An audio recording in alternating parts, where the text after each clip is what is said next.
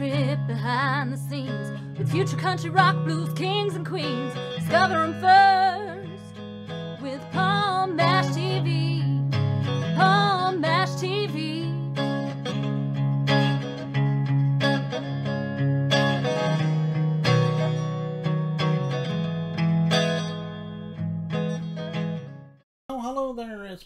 TV time again. Thank you so much for joining us on another episode. We've got the interview coming up for you in just a moment or two.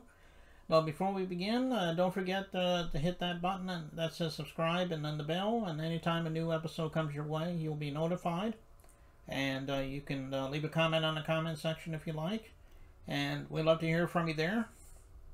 And if you're on Facebook, go to facebook.com forward slash Paul Mash TV, which is our official page and uh, feel free to uh, follow us there and comment on the things you see and also um, send us an inbox.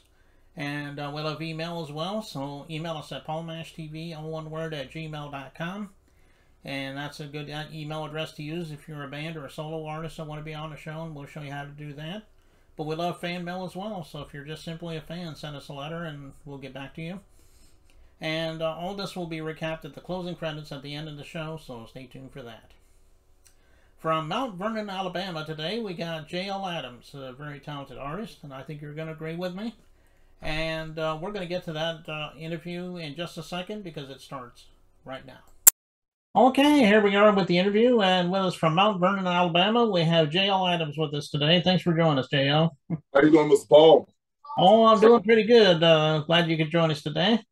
Uh, well, why don't why don't you talk to us a little bit about how you started as an artist? Because you know everybody has their own story. Let's let's hear your story. Well, I started um, young in the church. I sung in the choir grade of Mount Olive Primitive Baptist Church, Mm-hmm. and I was a lead singer in the youth choir. Um, then I just developed um, a taste for singing, so to speak. Mhm. Um, my grandmother was a singer. She was in the Jackson Southernaires. And she gave us singing lessons at night. And my mother, she she was a singer also. Um, she did a lot of Apollos and um, school singing and stuff. Mm-hmm. And then it just kind of grew on me. So I kind of fell off of it for a little while. And one day I was just on live, just singing. And a guy named Sir Nature Alexander reached out to me and asked me if I want to get on the road and use my talent. Mm. So um, the first show I did was with him, and we went to open up for Big Rob in Florida. And it was really fun and interesting. And I said, I could get used to this. But I was kind of shy, you know.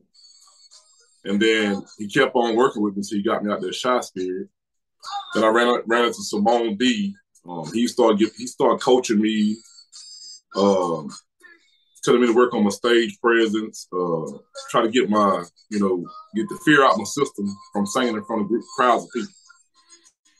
Then Charles Bo Grant, um, somebody that took their time out with me. He was a backup singer for the Temptations, and then he also sang with the Platters.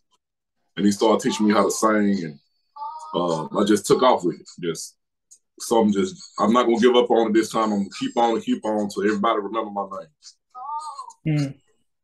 Well, well, that is a great story. Yeah, and you know, you mentioned the Temptations. You know, they they were um, they're they're legends. You know, so uh, Yeah. I can.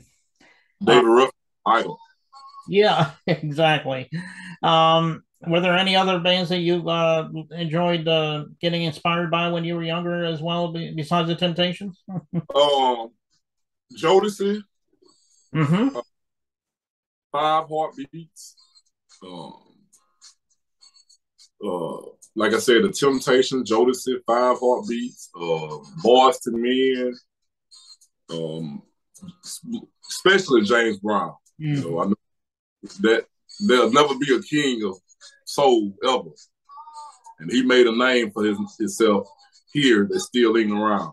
I also listen to a little Elvis Presley, uh, the Beatles, um, Churchill, you know, different genres of music. I, I just don't stick to one. So I listen to a little country, a little blues, a little R and B, Mhm. and I am trying to create my own style and be in my own lane. Yeah, uh, and that's what we do here at Paul Mash TV. We do all genres on the show, and uh, Yeah, and like you mentioned, Boyz II Men, James Brown, you know, uh, they're, they're definitely legends as well. And uh, and I can see why you picked them as uh, some of your inspirations. Um, if if somebody was watching this right now, wanted to download your music, how would they do it? Is it all streaming platforms? Uh, where's your social media at too? I'm on Spotify, iTunes, um, Apple Music, and Amazon. Also, Deezer Music. Okay. Well, what about your social media? You know, on Facebook, Instagram, so forth.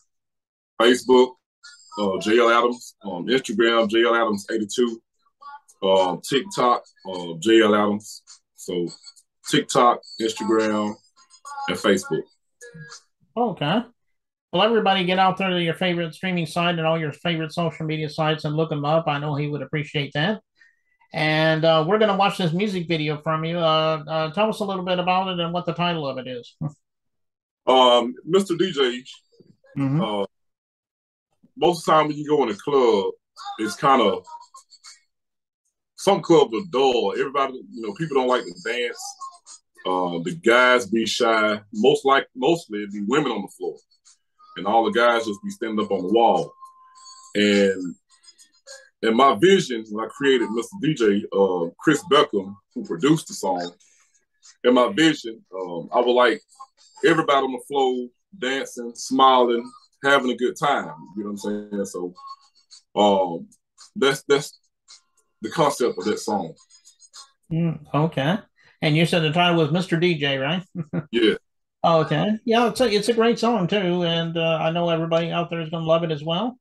And uh, we'll get to that in just a second. But uh, JL, thank you so much for being on the show. We'd love to have you back a second time if you'd like to come back.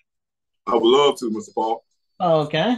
Well, here it is, Mr. DJ by JL Adams, and it starts right now. Yeah, crazy. Flip that track.